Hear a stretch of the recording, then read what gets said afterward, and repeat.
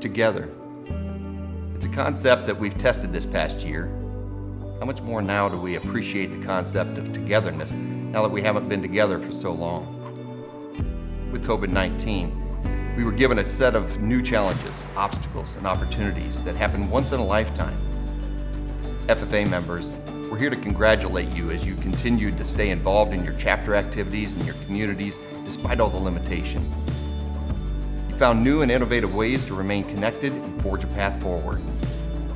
In agriculture, we've continued to grow and raise our livestock and crops and find new and better ways to improve our practices. Together, we continue to collaborate and help improve an industry we all love. For all of us, things may not have gone as planned this year, but this year isn't the end, it's the beginning of the next phase of your journey. Ohio Corn and Wheat is here to support you and partner with you in your future endeavors. Congratulations to everyone who is receiving their state degree and chapter awards this year.